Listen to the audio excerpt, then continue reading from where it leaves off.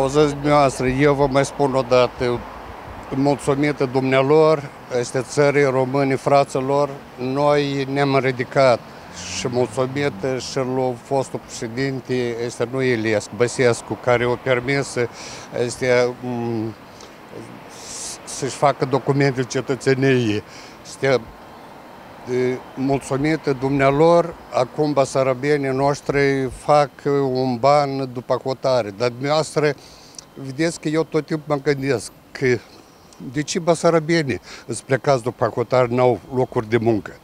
Dar rusofonii locuiesc în Moldova, sunt foarte bine, stau foarte bine. Dar nu a noastră, a noastră îți plecați după cotare, că n-au aici locuri de muncă și n-au de trai. România, ca fratele mai mare, ajută sora mai mică, eu cred așa.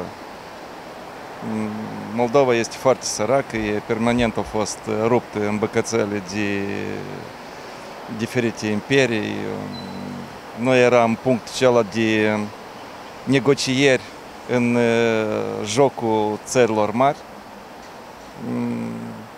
Eu nu știu, poate ei se consideră obligați într-un fel sau sau pur și simplu au inimă mare. Guranță este, este foarte mult ajutor. Uh, mai mult ca atât, știu că Guvernul României a ajutat foarte mult chiar și pentru uh, unitatea teritorială administrativă Găgăuză. Uh, iarăși mie mi se pare un gest de un gest de generozitate care undeva este probabil excesiv, pentru că având în vedere ce se promovează acolo.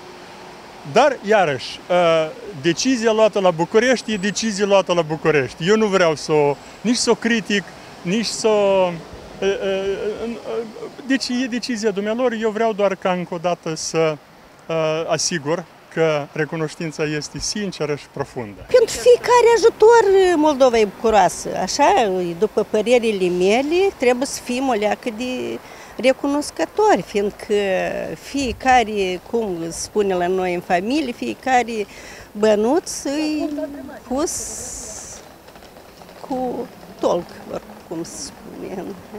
Asta De Găgău spun numai de drumuri, restul nu am și spune că am fost acolo și nu i-a plăcut atitudinea unora față de alții din Republică. E o viață mai confortabilă o viață mai bună. Cel puțin, uh, da, poți să mergi în confort dintr-o parte a Moldovei în alta. Exemplu e drumul Chișinău spre Bălți.